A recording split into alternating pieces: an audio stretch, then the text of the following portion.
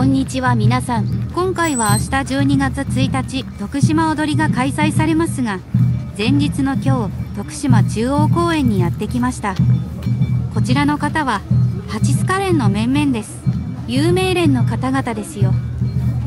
徳島城博物館にて16時から始まる阿波踊り特別公演に出演されるようです。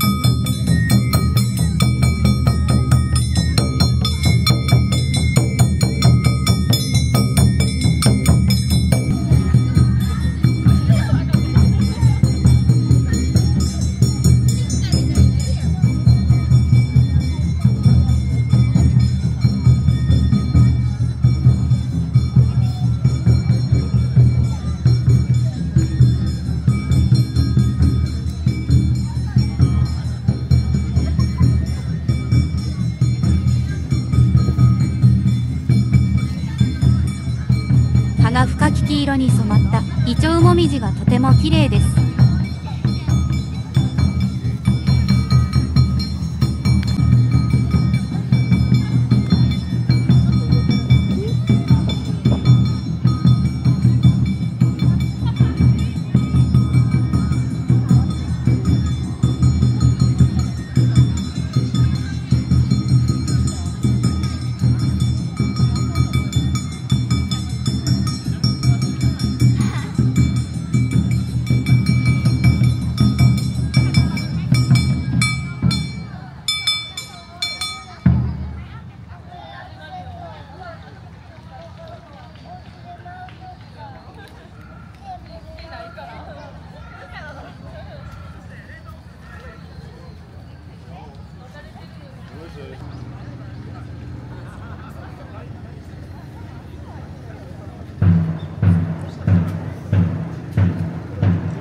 12月1日こちらの場所にて竹あかり展示美馬和傘展示が16時から21時まであるようです。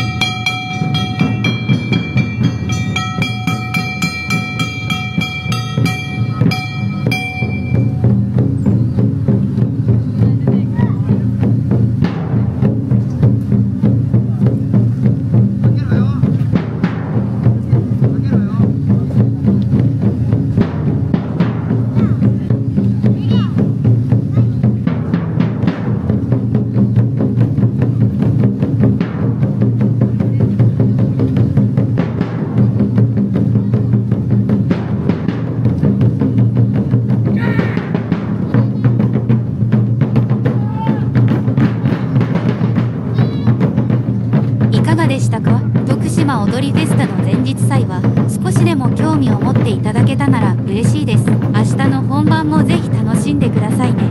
それではまた次の動画でお会いしましょう。